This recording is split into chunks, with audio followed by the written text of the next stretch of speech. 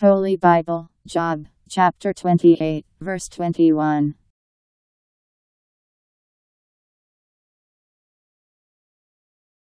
For it is kept secret from the eyes of all living, unseen by the birds of the air.